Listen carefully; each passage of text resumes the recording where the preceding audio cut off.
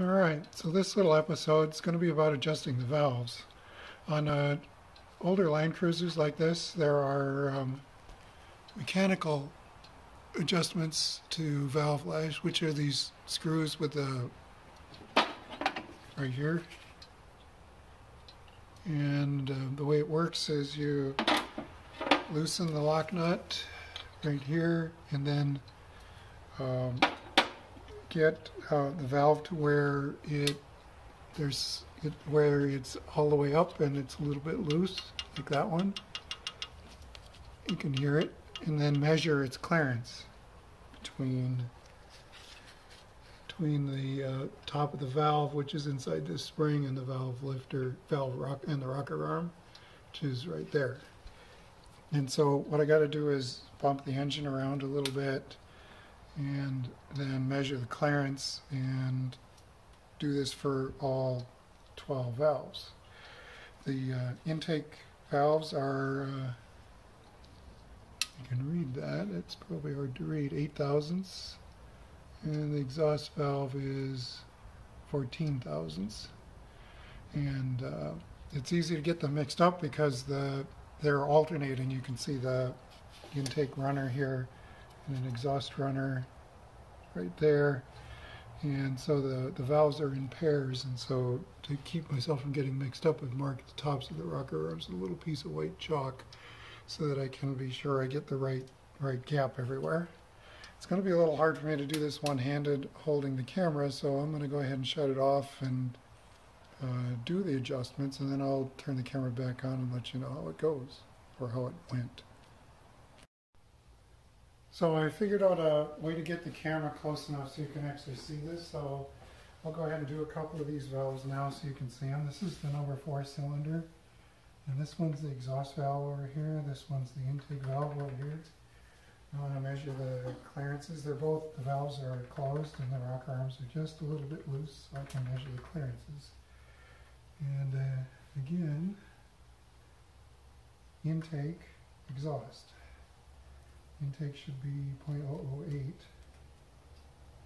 that's too loose. So I want to tighten that up by making the rocker arm longer.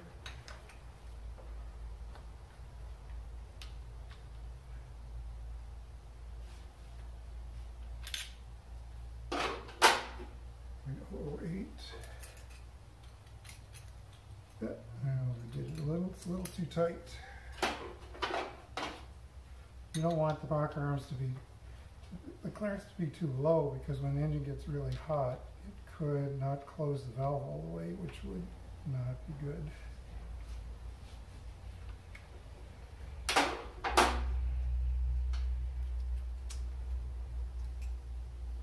Here, that's about right. Let's check this one. This one's too tight. This is the exhaust valve.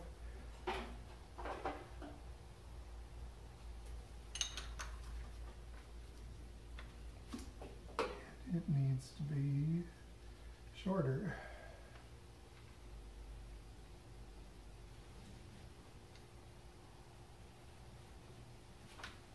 Give that a go.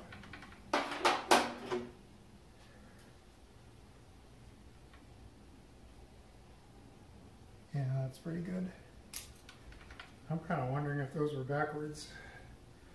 That might explain why the why the compression was low on number four. We're going to find out in a minute here. So I'm not going to film it all, but that's what the rest of the valves are going to go like. Okay, I finished the valves and I'm in the middle of the compression test.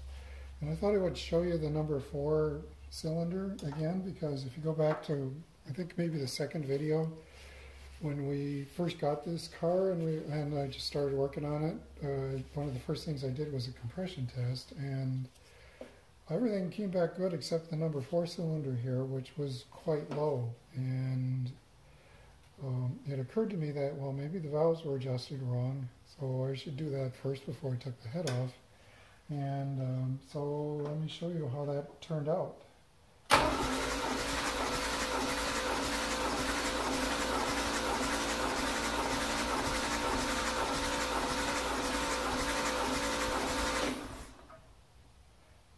It's much better than it was. Last time it was well under 100 pounds.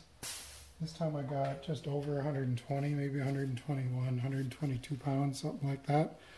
And um, I've looked that up in the specs. You got to remember we're at 6,000 feet here roughly, so I got to adjust it for that. And that number is acceptable. It's um, in the range.